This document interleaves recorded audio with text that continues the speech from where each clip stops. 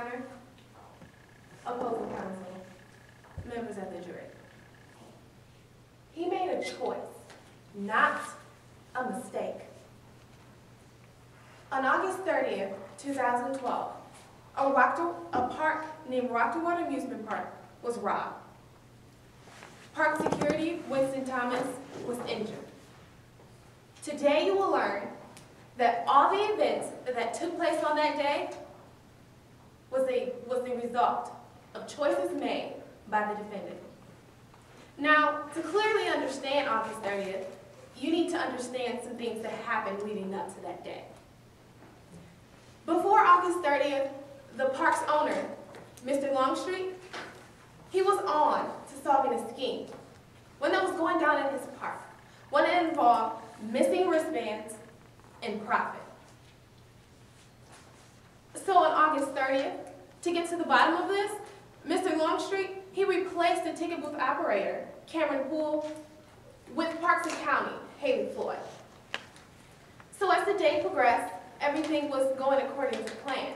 Uh, The profits was adding up to the people in the park and the wristbands being given out.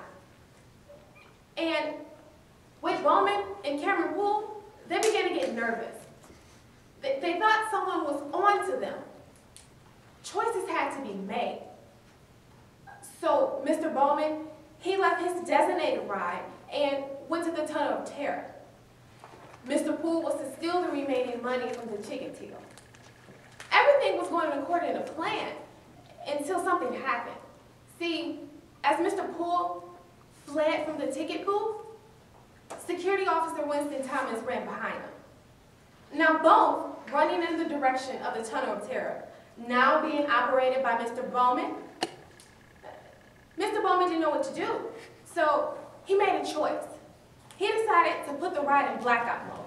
Now that's what happens when all of the lights go out, yet all the cars keep moving.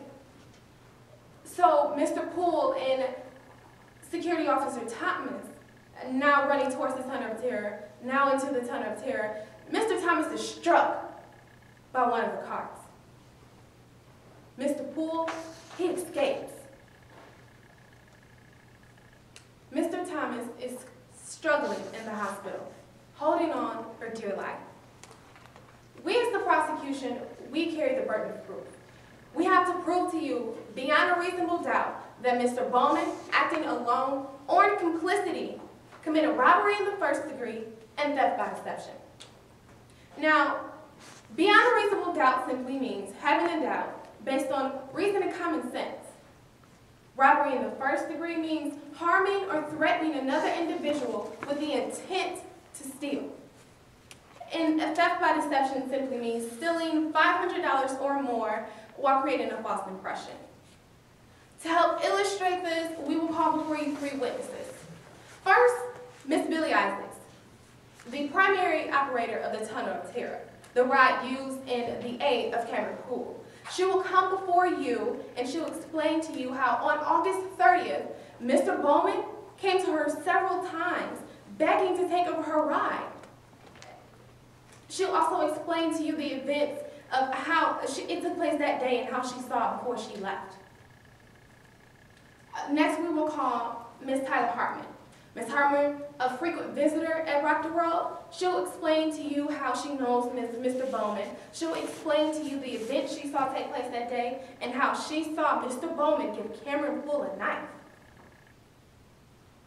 Uh, Lastly, we will call Detective Kimball.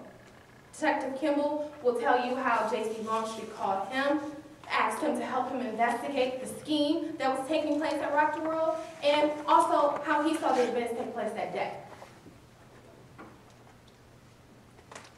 Mr. Bowman made a choice, not a mistake. My co-counsel, Stephanie Hinchell, will come and ask that you find Whit Bowman guilty of all charges. Thank you.